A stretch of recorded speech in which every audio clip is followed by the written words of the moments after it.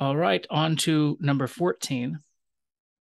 Shumma awilum. Shumma awilum. Okay. Our eyes are used to it by now. Mar awilim.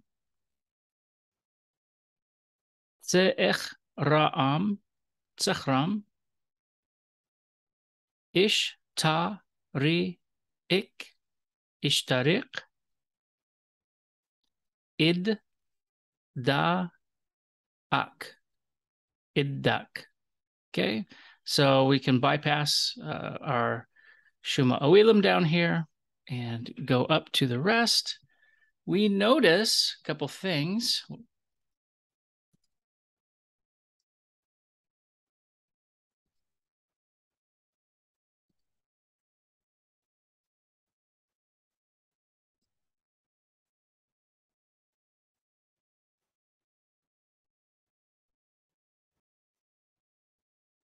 All right. We notice here we have mar as the logogram, uh, which we're going to normalize according to the Sumerian dumu. It's our only logogram here. So mar a we lim. Uh, this is interesting here. Let me use a different color just for fun. Can this is our world. We can do anything we want in our world a nice happy limb here. Now, when we see limb, um, this character we know as she, right? We know as she, but it has another uh, reading, and that is also limb. Okay, going back to the way in which it could be read in Sumerian, we have all these different uh, permutations. Uh, well, not permutation, maybe iterations of the way in which the character is vocalized. So don't don't um, forget that. It's not shuma a will or shuma a we it's shuma a we lim lim. Okay so that'd be a, a lim reading. Sechram uh, probably familiar to you from hebrew uh, sa'ir uh, a small one a small person.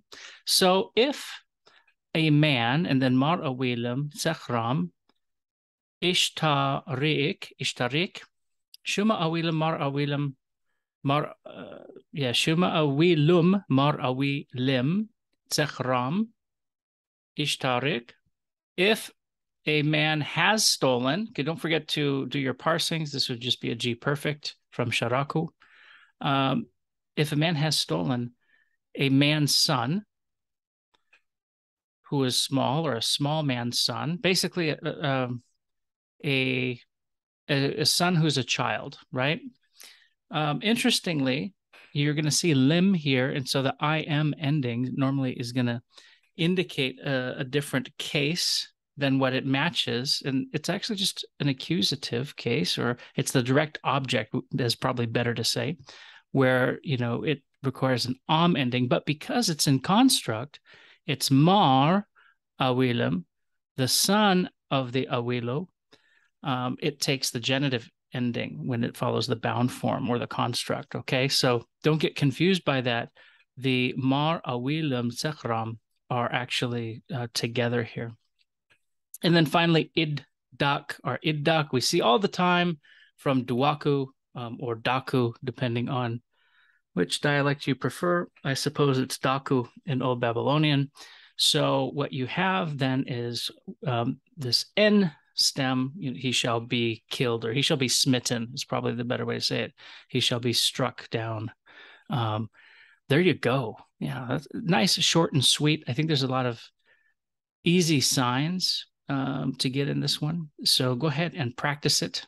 And um, don't forget, like when you see the oddballs, you know, these logograms, um, or when you see these odd characters, they're good chance they may be logographic. But if well, maybe they're not odd for your eyes yet. Maybe everything's odd.